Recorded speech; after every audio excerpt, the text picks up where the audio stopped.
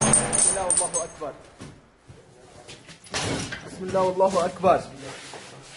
ضرب حاجز. جيش الأسدي 29 10 2012 كتيبة الأنصار.